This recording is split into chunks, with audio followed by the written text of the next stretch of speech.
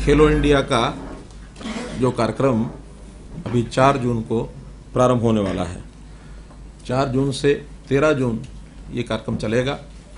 और जैसे पता है कि इससे पहले दो बार खेलो इंडिया हो चुका है देश के विभिन्न भागों में।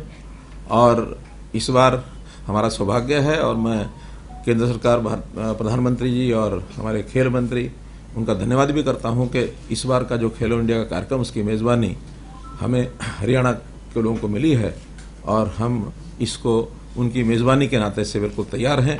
सब व्यवस्थाएँ हमारी जो तैयार हो चुकी हैं।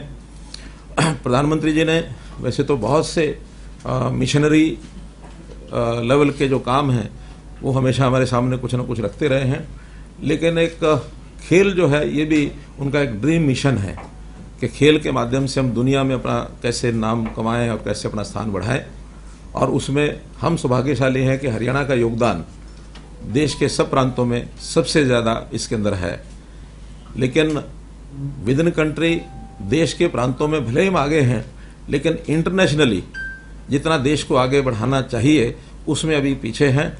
उसमें हम हरियाणा के लोग अपनी जिम्मेवारी मान करके और इसको खूब आगे बढ़ाएँगे। ये जो खेलो इंडिया का कार्यक्रम है, ये जैसा बताया, दस दिन तक चलेगा। पच्चीस इसमें गेम्स होंगे।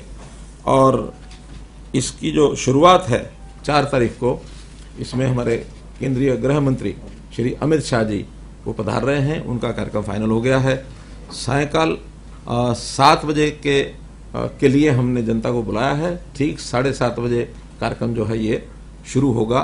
और उस साढ़े सात बजे के कार्यक्रम की शुरुआत में लगभग साढ़े आठ हज़ार तो जो खिलाड़ी हैं या उनके जो प्रबंधक जितने भी हैं, साथ में अधिकारी हैं कोच हैं, और जो सहयोगी हैं, वो सब साढ़े आठ हज़ार की संख्या उनकी रहेगी।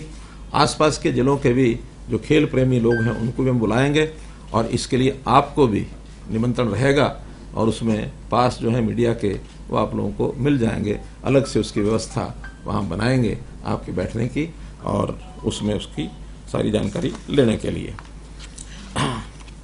इस बार के आयोजन को कैसे ये पिछले दो आयोजन हैं उससे भी आगे बढ़ कर के भव्य इसका आयोजन हो इसके लिए व्यवस्थाएँ हर प्रकार की यानी खेल के नाते से जो स्टेडियम है इंफ्रास्ट्रक्चर है वो तो मैं स्वयं उसका निरीक्षण करके आया हूँ। हर प्रकार के खेल खेलने के लिए और बहुत अच्छा एक प्रेमिसेस ये तैयार किया गया है। न केवल पंचकूला बल्कि इसमें से कुछ खेल चंडीगढ़ यूनिवर्सिटी का जो कैंपस है उसमें भी होंगे आ, कुछ अंबाला में होंगे शाहबाद में होंगे और दिल्ली में होंगे।